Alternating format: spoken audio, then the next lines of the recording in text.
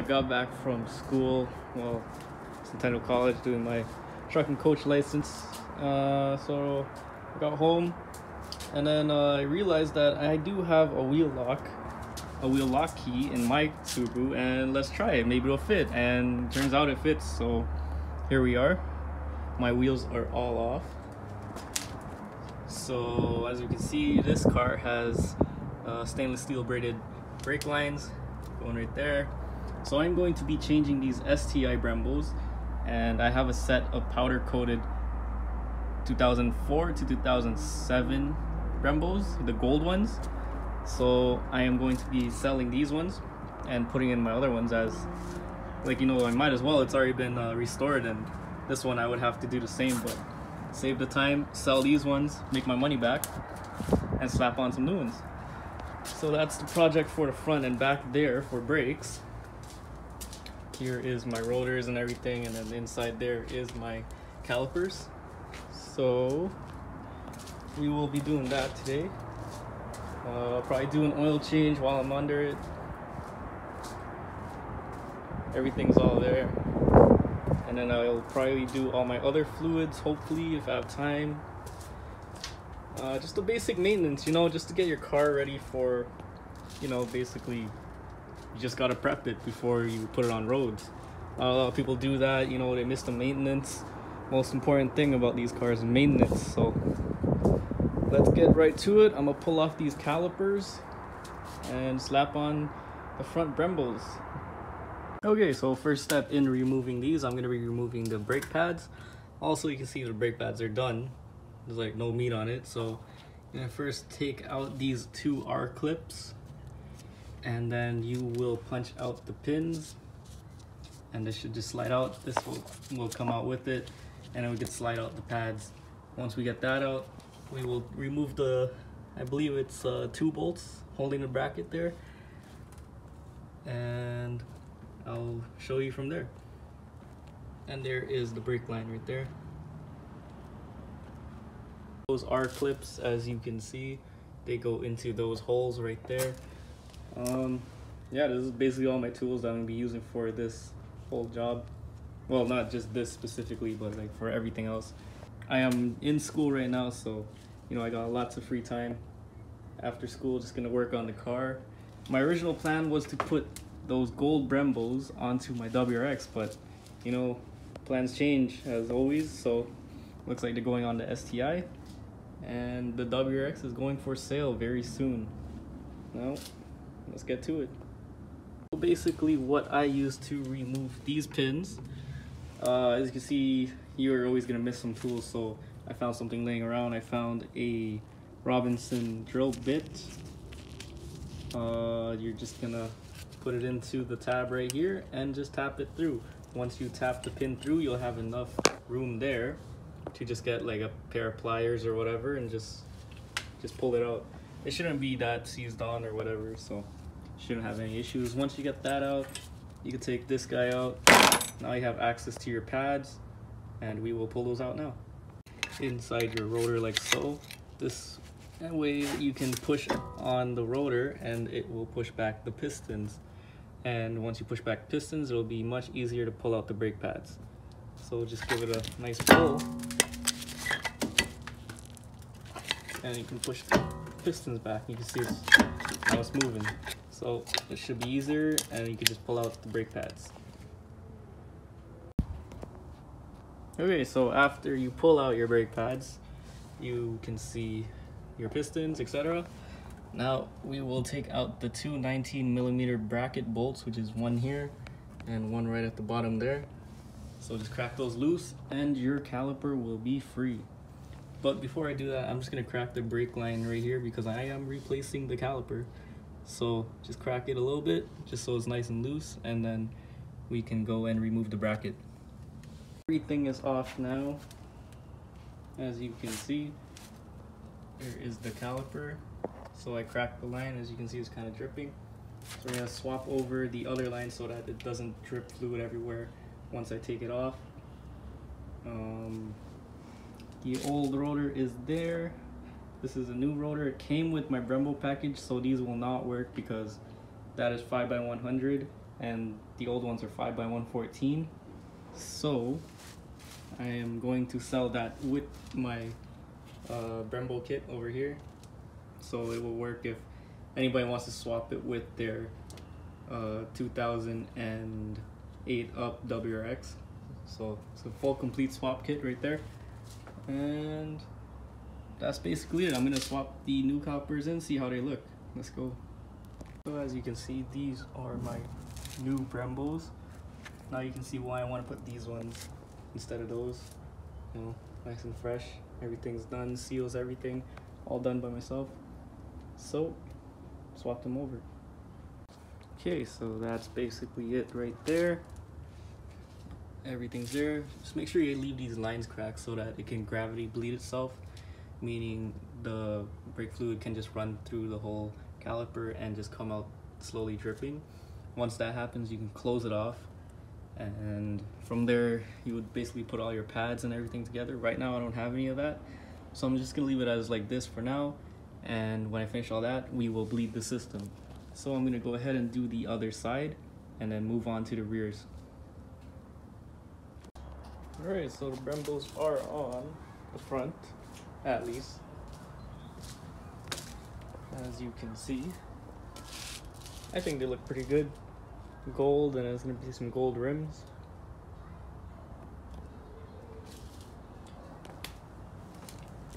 Here are the old ones. So if I were to use these, I would have to clean it all up, etc. But like, mine are already mint, so I might as well use those and sell these ones instead of keep these ones and sell those ones. Know what I mean? Anyways, let's do the back. Okay guys, so for the rear of this vehicle, it is pretty similar. So you just have the little R-clip pins right behind here, or sorry, it's right right over here on the right side as you can see. So remove those two R-clip pins, tap it on the uh, on the driver's side right here, the little pins, just push it through, get your clamps, wiggle it out, and then for the pads you could just push it with your fingers for these because it's a single piston on each. So they should move out pretty easy unless you have a seized caliper. And then once you get that, it is two 17 millimeter bolts in the back holding the caliper and the, the bleeder is a 14 millimeter.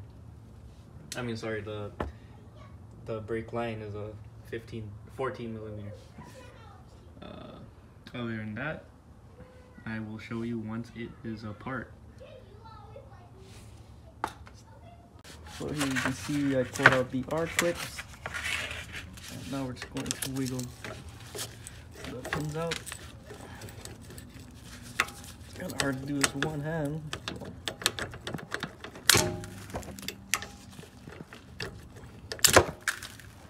And then the spring's gonna pop out like that. And do the bottom one.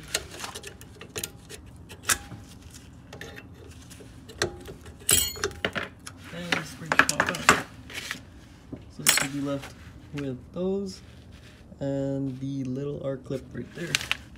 So like I said, for the for the pads, you could just push them with your hands. So I'm just gonna put my camera down for a second, push it with two hands. Okay, so all I did was put my thumb here and my other hand, my thumb here, and I pushed that way. So then now the piston is loose. I mean the piston is com compressed back. And you can just wiggle the pads out like so.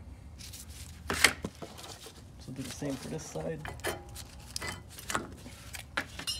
and there are your pads.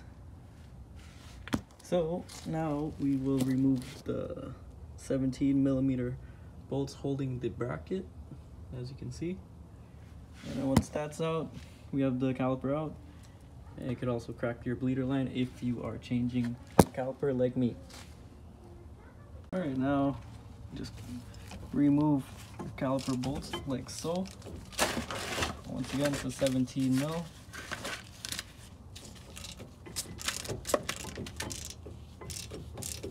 So there's one at the top, one at the bottom. Once you do that, your caliper is off. Don't forget to crack your brake fluid line, your brake um, brake line, and that should be it. Okay, so since my setup is different, I have an adapter going here. So this is a 08 to 14 rear caliper adapter, just for the Brembos from 02 to 07. I mean, um, 04 to 07, I believe, which is this. So this is much smaller from that one over there, as you can tell, but you know, it looks way nicer. So yeah, so we're gonna put this one on. Uh, to do this, you're gonna need to reuse your your 17 mil bolt just to attach that, and then you're gonna need a special bolt, which is uh same thread pitch, everything. It's just a longer diameter. So you're just gonna need to order one of those or two of those for each side, and then you are set, and you can have your 2004 to 07 Brembos on your 08 to 14 WRX or STI, all that. Now keep in mind for the WRXs, your um, rotor is going to be different because it is a 5 by 100 bolt pattern, so you're going to need the ones that are cross drilled to fit this one because of the bigger brake shoe. So yeah, that's about it. I'm to slap that on and we're to see how it looks.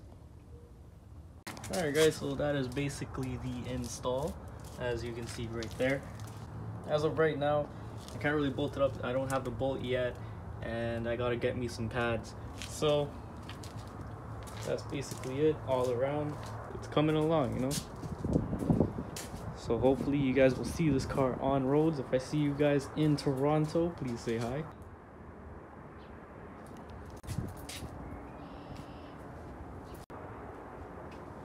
guys so back at it again i finally picked up my bolts so for this bracket over here the uh, adapter bracket you will need this is a m10 by 1.5 thread it is 50 millimeters long so it fits just enough as you can see right into the caliper so we're gonna put a little bit of thread lock on there just so it doesn't come off and attach the Brembos on.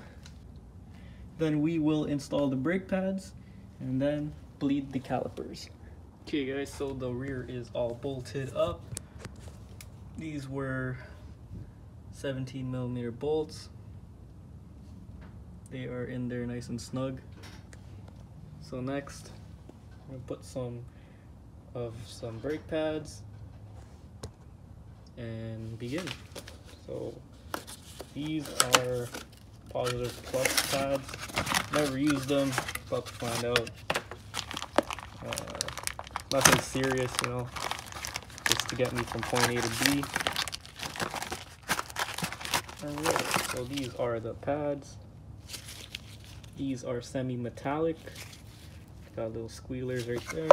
Alright, so really simple to install these get some uh, anti-seize, put it around here for the piston and just on the sides here, or you could put it in there just so your your uh, calipers, your brake pad slides in and out easy. And then that's basically it. And then we just install the lockup tabs and we'll go from there. Shims that came with the brake pads, so I reused the old ones as it has more of a protection shield here and here so that's basically it and then you install your R clips make sure you lubricate your pins here and just tap it all the way through till it bottoms out that's basically it. So yeah here is the old uh, backing piece I guess. And yeah it does not have the side pieces so I figured I'd just use this one. It's much better.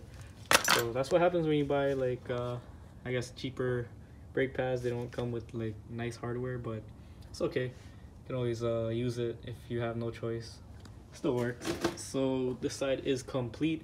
Let's move on to the next side. So I am going to be using sim brakes I don't know what this is semi-metallic integrally molded so let's give these a try the back I got a different set So these are red in color. They look pretty nice, but who knows how they perform.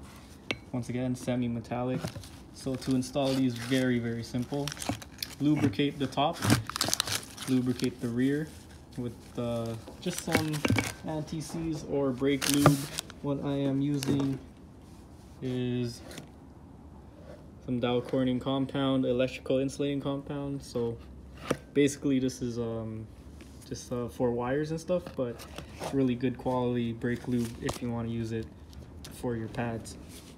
So just put a little bit here, rub it just so it's uh, the same shapes as your cylinders so that they don't uh, have friction against each other and start squealing. Once you do that, then you can move on to your pins, install your pins through there, and that's basically it. And then just bolt it all together. Well, snap it all together. There's no bolts in this, so here I'll walk you guys through it. Alright, so this is kind of a bad angle, but it works. So get your brake lube. Once again, just gonna lubricate the top here, just so it slides. So just rub that there. Make sure you don't get any on the pad. So just rub it. And you do the bottom.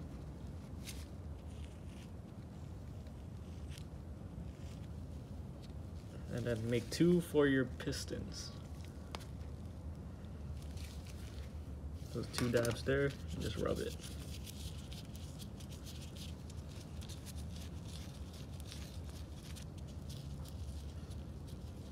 I like to use this too because it doesn't really get so messy. And it, it works pretty good. And I always service my brakes like I don't know like every two two times a year. Like I just pull it out just to check it so. Yeah once you get that make sure that the squealer pin is on the inside caliper. So you can put it through here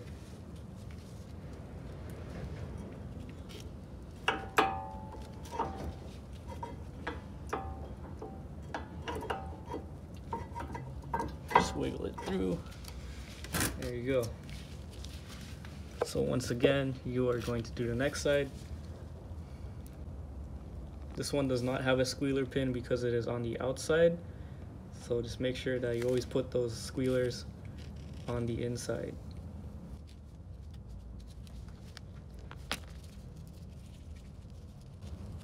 Okay so now that we finished that slide her through easy like that. So now you are going to get your pins uh sorry your your piece right here just a metal piece that holds your pin. You're gonna get that. So in this box it did not come with a backing piece. So you will have to reuse your old ones which is this. So i'm just gonna clean this up a little bit get a little wire wheel wire brush scrub it. Once you finish that lubricate the tabs that have contact with the pad, which is this, this, and these two top pieces. So lubricate those.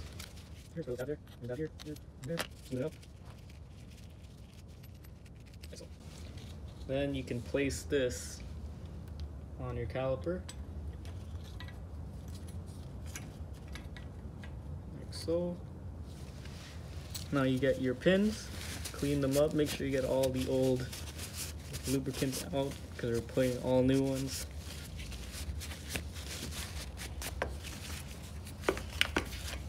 And just get some of your grease, put it on there, just lubricate it.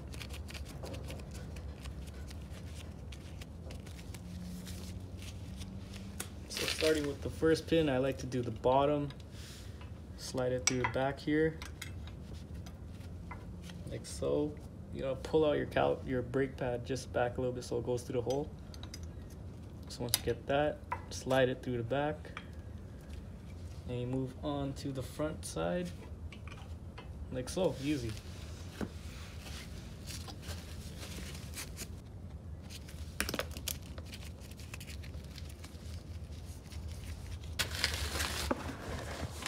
So all you want to do is just push the side in push this forward. And if your pad's in the way, go through the front like this, through the front, push your cow, uh, sorry, brake pad back. And just wiggle it through.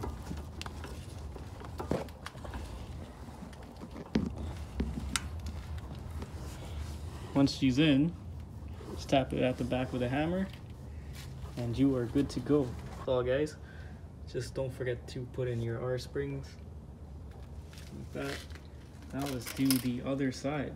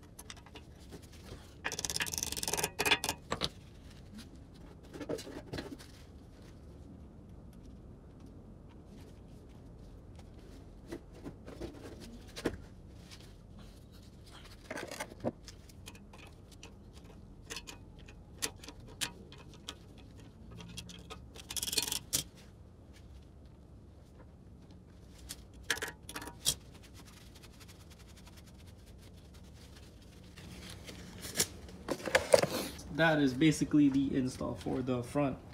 Check it out, that looks mint, fucking mint. Install, as you can see, we got the front on and we got the rears. So all that's left now is just to bleed the brakes and we can go on from there and work on the rest of the car. So next I'll probably be doing an oil change uh, change some fluids, all that. So we'll go along the way with my videos. But yeah, these look pretty good. Once I put the wheels on, they will look mint. So thank you guys for watching this video. See you guys in the next one. Peace.